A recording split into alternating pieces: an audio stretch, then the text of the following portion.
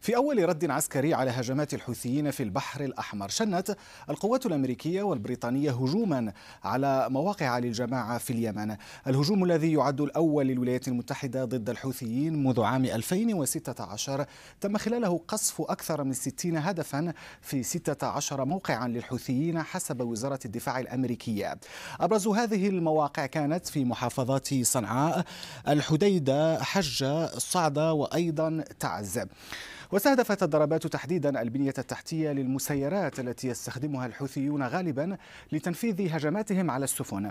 كما تم توجيه ضربات لمخازن الصواريخ البالستية وصواريخ كروز وأجهزة الرادار الساحلي والمراقبة الجوية.